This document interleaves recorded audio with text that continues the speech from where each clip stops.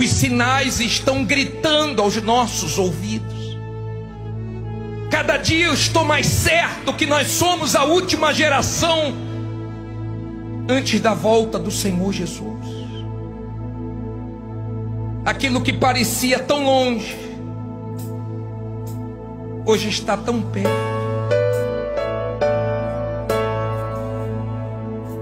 Jesus não mentiu.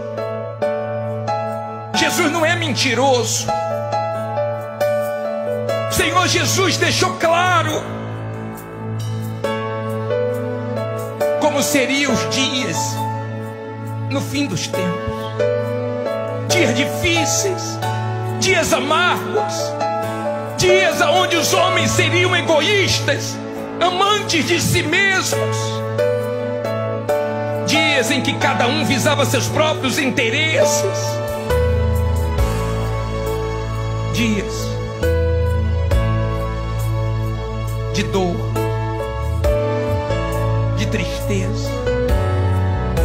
Há um país agora sendo bombardeado, mães entregando crianças para que elas nem conhecem, a comida acabando, já se falam em uma guerra nuclear. Já se tem ameaças de destruir tudo, e hoje o homem tem bombas que podem destruir o mundo todo.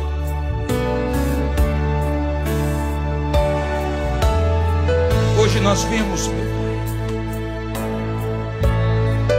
o homem colhendo o que ele está plantando, o homem destruindo tudo que o Senhor criou. Não dizendo que se a temperatura no mundo subir mais um grau e meio, vai ter caos total. Não dá para esperar dias melhores desse mundo. O Senhor já nos alertava de tudo isso.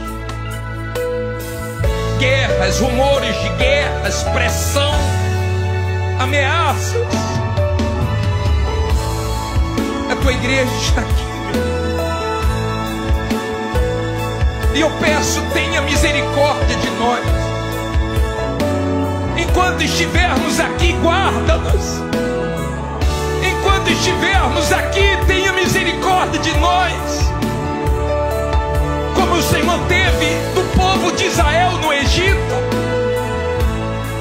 Como o Senhor teve de Noé e a família dele quando o Senhor aplicou juízo. Como o Senhor teve de Ló quando em Sodoma e Gomorra o juízo chegou. Meu pai, o Evangelho está sendo pregado. Nós estamos na TV, nós estamos na rádio, nós estamos nas redes sociais, nós estamos usando tudo para tentar salvar mais um, para tentar salvar mais alguém. Meu amado, meu Senhor, limpa nossas velas,